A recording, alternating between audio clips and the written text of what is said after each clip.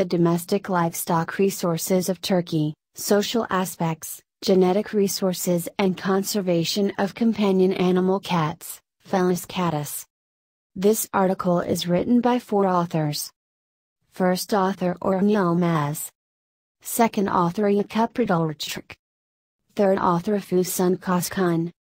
Last author R. Trevor Wilson. Contribution and originality of the study is that, the domestic cat is important in the social and cultural environments of Turkey and has been kept as a companion, pet animal for many hundreds of years. Two local cat breeds are valuable additions to the biodiversity of domestic animals. This paper provides the first overview of the cat in Turkey.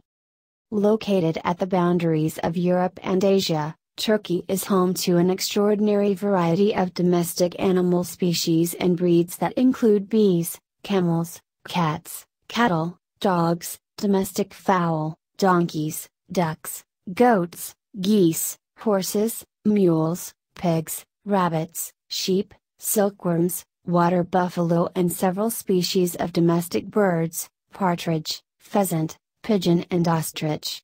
In addition to the clearly distinct Angora and Van cat breeds a short-haired nondescript cat breed is found throughout Turkey. As well as private household ownership, Angora cats have been raised at Ankara Zoo which has belonged to the Ministry of Food, Agriculture and Livestock since 1939. The Van cat is raised at the Van Cat Research Center at Yüzüncü Yıl University in Van Province which also has a small clinic for the cats.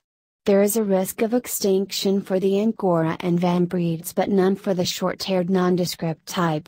This paper reviews social aspects, the genetic resources and conservation status of the native cat breeds of Turkey.